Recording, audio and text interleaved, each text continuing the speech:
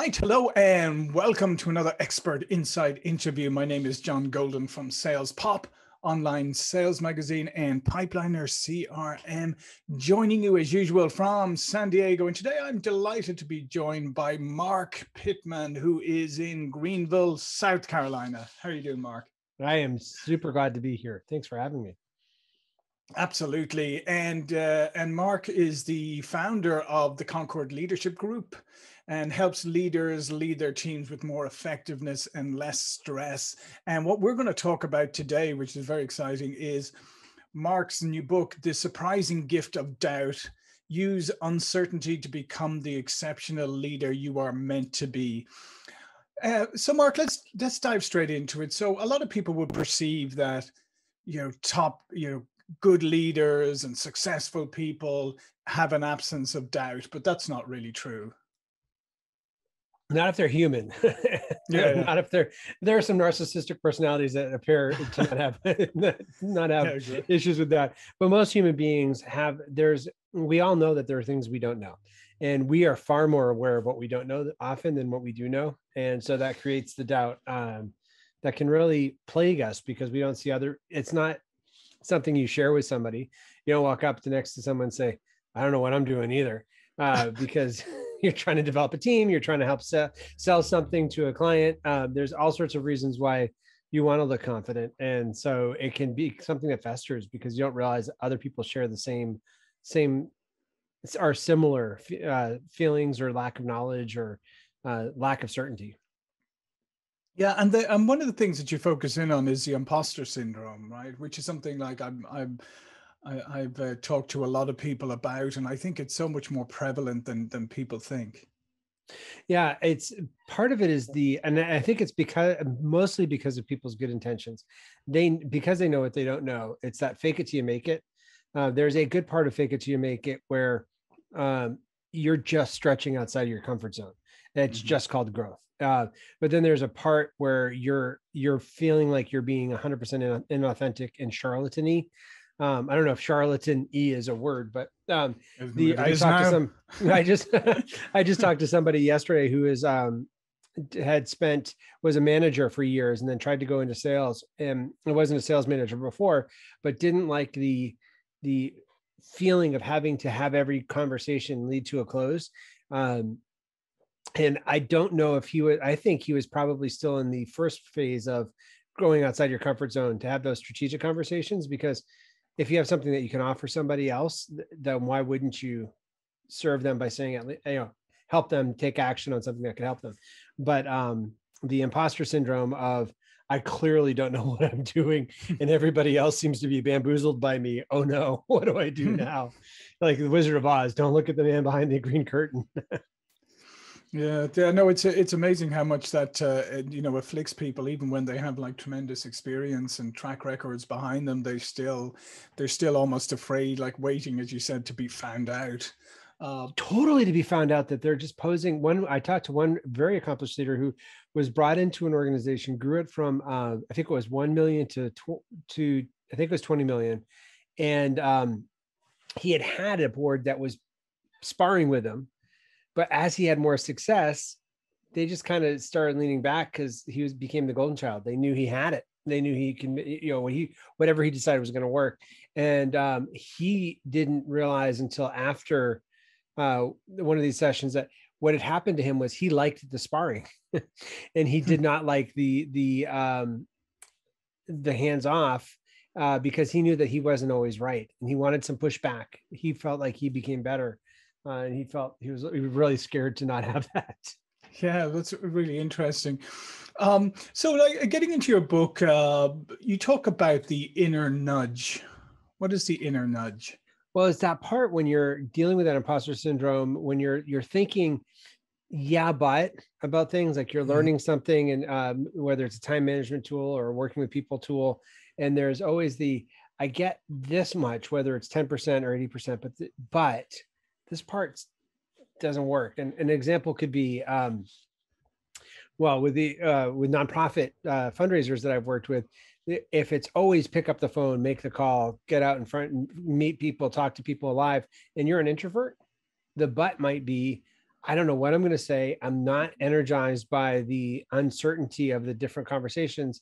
So it could be that the nudge could be inviting you to to start with a letter. Even if you never send the letters, write out the letter, figure out what it is you're going to say, maybe mail the letter uh, because it turns out introverts have an amazing ability to think before they speak and that will help you come up with some of the things that you could talk about and it may set the stage for the other person which it took me years of training to not I, of not advising that for training to realize that there are people that would respond differently so that inner nudge is uh, the one that i'm talking about is not throwing out all the good stuff that you've learned sure. but it's it's incorporating it and making it your own instead of just trying to copy somebody else actually becoming the full the, the more full and more authentic yourself more authentic uh, the, Absolutely, I love that thing about the uh, the introverts like thinking before they speak. I think perhaps the whole world needs to become an introvert for a little bit. Like well, the world might be a better be, place. Oops! I just I just responded with words. Whoops! Showed my cards. You know another another interesting so if you if you do decide and that you know that you want to do something and you want to move forward and, and you want to embrace opportunities you talk about accepting your gifts and I mean, that would seem, again, sort of a little bit counterintuitive because you would think, like, oh, you know, you celebrate your gifts, but that's not always true either, is it? no, because sometimes our gifts don't always uh, look the look like gifts to us because we're so used to them. Uh, mm-hmm. But it's when other people are able to to to acknowledge them, and, and part of it for us is just is learning uh, how are we're wired. Uh, it's behavior, it's actual cognitive ability, and the quickness you can get things done. Your, uh, it's and it's also motivations. How how are you motivated? Not just why do you do things the way you do, but what's the story you're living out of? And as you start figuring out some of those things, you can accept your limitations, which is one of the hardest things about I think human existence is that we can't do it all. But one of the gifts of leadership is that you're not while you you get into leadership thinking you're supposed to do it all but you learn that you're not. That's why you have mm-hmm. a team whether it's a team of two or three or thousands that's why you can do so much more if you work with them. And when, as you learn your limitations you learn that some people love to do the stuff you don't. And it kind of feels like you're cheating because you're not doing the stuff that you don't like to do but they're having a blast doing the books or doing the other things doing whatever um, yeah, no, it's, it's it is that's a wonderful thing when you discover that. But here's the thing: is right, uh, self awareness is is obviously key to this because um, let's face it, as you said, uh, sometimes the gifts that we wish we had are the ones that we don't have, and we either downplay or ignore, or, or as I said, degrade the gifts that we actually do have. We spend too much time focusing on the things we don't have. Well, I think a lot of that is because of the our in, in North America anyway the schooling that we go through it's usually looking at your weaknesses.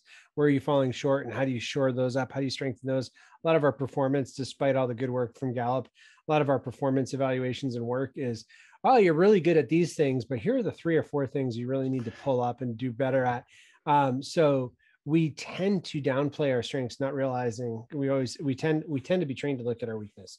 Uh, and when we get to start being free to, to be good at what we do uh, that can be really transformative. And it feels awkward at first because you start having a little bit more joy and and things are a little bit hmm. easier because you're doing things that are that come naturally to you that don't naturally normally to other people. Um, so it takes some baby stepping and trying to beta test some things and realizing wow i guess i do have something to offer. This is a part of my unique voice or or my unique way of, of doing this. It won't look like the past leader. That's a problem with a lot of leadership uh, replacements, especially senior leader. People go for the opposite. If they had somebody that was really charismatic and outgoing, but didn't really do details well, they go for a details person and they they sell that details person on we need you this is what we need this is our vision and all and then they start getting really bent out of shape after the details person's there because they're like well where's where's the personality why aren't you out seeing yeah. us and all uh, so, so it also then, helps to have teams that are more aware of these conversations for sure. Yeah, yeah, and then they end up hiring like a COO or something like with the with the charismatic personality to try and uh, right. To, to, yeah, exactly. It's like, oh, oh, we have to hire two people to fill this one. Yeah. yeah. Uh, um, the other interesting. Um, thing there that I was just about uh, that I was going to comment on is uh, you know as I said the idea about recognizing your own gifts and that uh, and, and being comfortable being comfortable with that. You also talk about um, realizing the benefits of your ability. And I think that's the other thing is again, we sometimes look at everything else. Uh, we don't look at our own our own gifts and our own abilities and how they can best be uh, deployed. Yeah, one of the uh, John Eldredge is an author that I've listened, I've, I've learned from, and one of the things he helps people do, and I've used with my coaching clients too, is have your think about the stories you keep going back to, and think about the characters and the stories that you most identify with or most admire. Um, typically, that makes us feel really. It feels woo woo. It feels you know, weird, but because doesn't everybody love this? For me, it was Lord of the Rings, Gandalf. Of course, everybody's going to say Gandalf. In the group I was in at the time, nobody else said Gandalf, and right. so that caused me to go to another level of what is it about Gandalf that I resonate with? And it was a way of doing what you just said earlier of taking my gifts, the stuff that I that I saw as strengths, and seeing them in somebody else helped me to then bring them back. Not that I'm a wizard uh, that can ride a horse. I was going to say, I was going to yeah. say, I'm, I'm pretty hair, impressed. pandemic hair is getting longer, but um, the beard is still short. But what it was for me was Gandalf was a studious nerd. He spent years in the books trying to figure out what this ring was. And that is what I like to do whenever I share in front of an audience or in front of a coaching client. I don't want to share anything that hasn't been researched and I can't get my hands on the primary material because people's time is too and trust is too important. But he's also a fighter. He wasn't just going to stay in a library. He was going to go out there and um, and change the world and uh, kick butt when he did it. And that was those are two components of me uh, I've had other clients that have had similar experiences with the characters they liked, and it was a way of seeing themselves in a different light that totally fit. And it was almost like a gear fell into place when you do that. Um, yeah so, those, so go, seeing those characters those fictional characters can be helpful. Yeah so how do you discover those? I mean some people like say well i don't, I don't know if i have any stories or characters but um, but i guess that's the first step. probably does. The first step is this is a stupid assignment. So it's finding someone that will ask you that you that you're scared to not come up with an answer for. That's what happened to me. It's like oh no. I i was leading the small group and i thought oh no i have to come up with an answer because all the other people are thinking that i know who this is. Um part of it is I, one of the things that leaders uh, are there are three areas that leaders need to focus in. Um, there's the the clients the customers whatever the mission whatever you're doing.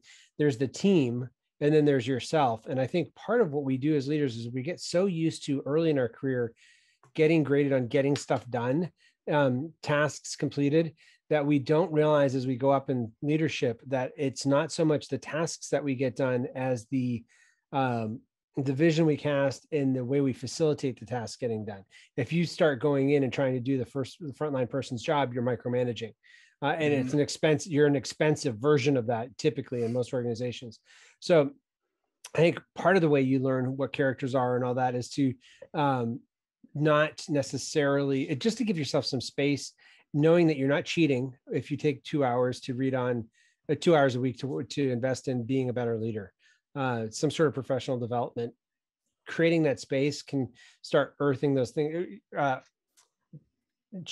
listening the dirt, listening the ground that you're in. Mm-hmm. And I guess one other thing I'd say, John, too, is that it's not a linear process. So one of the things that one of the the the quadrant three model that I talk about of all the different aspects of of leadership development that are the gift of doubt, like the different mm-hmm. tools that I offer. Yeah. Um, I really I cringe because it looks sequential and orderly, but it's not. It's life. It's organic. It's messy. It's three dimensional. And so it may not be the if you're it may not be the characters in fictional stories, and maybe identifying your core values and looking at your teams or your organizations and seeing if there's a dissonance there.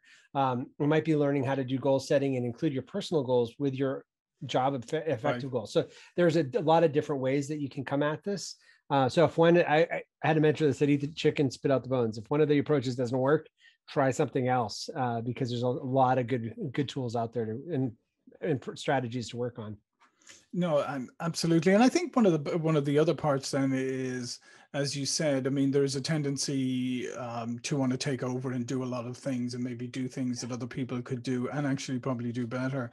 Uh, so part of this uh, on your journey is the ability to trust right? To trust other people and then accept that other people are not going to do things the same way as you might do them. That's so hard, right? The um the one some of the best um, sales managers I've seen are people that aren't necessarily good at sales, but they're good at coaching.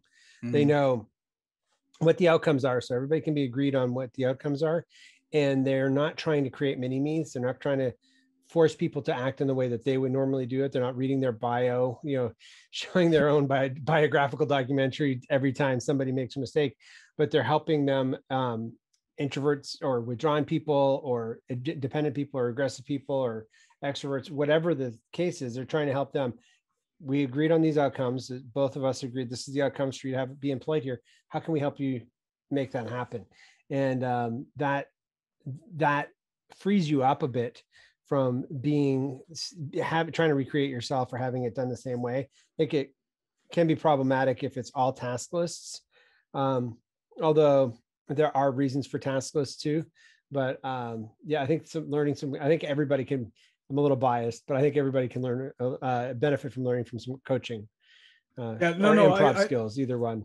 Yeah yeah no i would say i would say coaching. I, I say this all the time on these interviews is that it's amazing um, that uh, you know we will spend an inordinate amount of money on on coaching or whatever for our our, our hobbies things that yeah they're fun to do but they're not going to put bread on the table.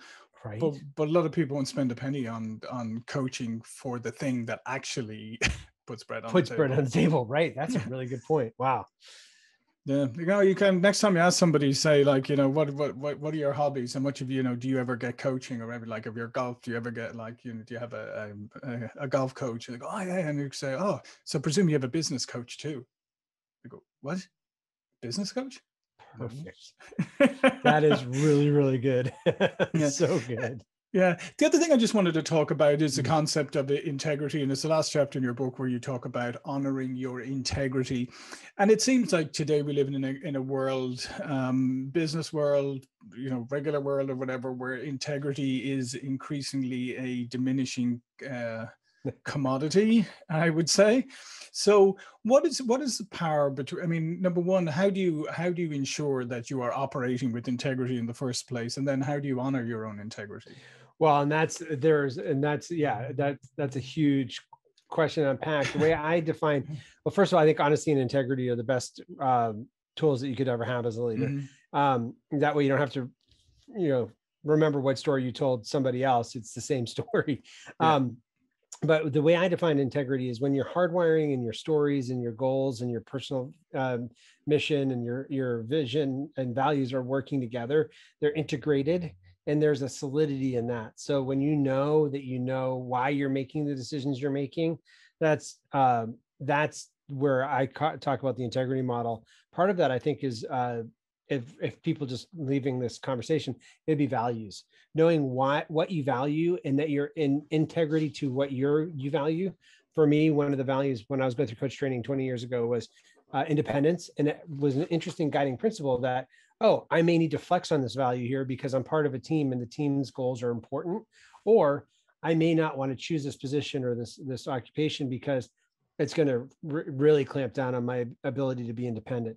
Um, and so being in integrity with myself helped me to be actually save that organization money too, I'm sure, because I didn't have to be kind of great strafing uh, with that with their every decision that they made that I would feel as micromanaging and inflicting on my creativity.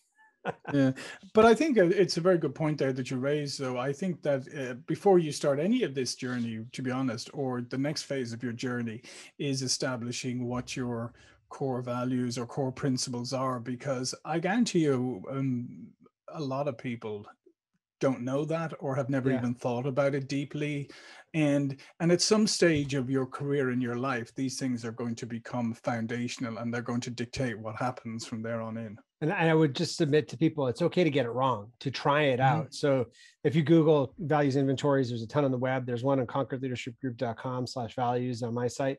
But um, they're basically a lot of list of words. And so your word and and just circle the ones that seem to resonate with you, get out a piece of paper and say, what are the things that are important to me? Just jot them down and live with them for a while and see if they still resonate. Um, and and then my friend Brent Manswar also says that if you looked for history story your core your core values are the ones that you can see that you've done in the past your aspirational the values are the ones that you haven't yet have a story or at a point in time where you actually worked on that and and there's nothing wrong with aspirational values but knowing your core ones early in your career at any point in your career can really help you make decisions that are best suited for you uh, and the people that are dependent on you. Yeah, no, absolutely. Like fantastic. Uh, this has been a wonderful interview and a lot of great uh, insights in here. The book is called The Surprising Gift of Doubt Use Uncertainty to Become the Exceptional Leader You Are Meant to Be um, from Marc Pitman. All of Marc's information is going to be below this video. The book will all link to the book will also be there. But before we go, Marc, please do tell people a little bit more about yourself. Uh, I love doing executive coaching and helping people. Um, one person told me that since I did a lot of nonprofit fundraising, um, I help people make sales with no product in return. so I can help people find solutions to all, all sorts of problems.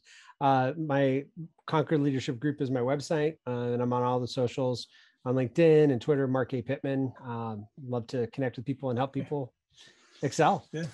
Yeah, and I would, uh, and uh, and as I said earlier, I would uh, ask yourself uh, where you're investing your time and money. Uh, if you got, uh, wow, you made the top ten of your local golf club's annual tournament because you paid for coaching, um, but you didn't make your quota this year, so now you can't pay for it next year. wow. So.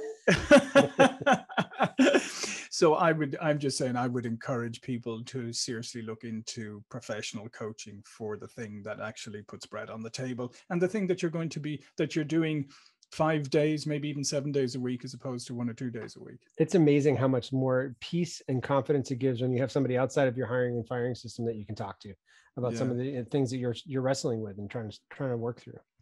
And it adds that uh, just before we go, just add, it adds that level of accountability because it's all very well to try and do things on your own, which is great. But when you involve a third party, now you're accountable to somebody other than yourself. Yep, that's so true. all right, listen, thanks, Marc. This has been great. My name is John Golden, Sales Pop Online, Sales Magazine, Pipeliner CRM. I'll see you all for another interview really soon. Thank you.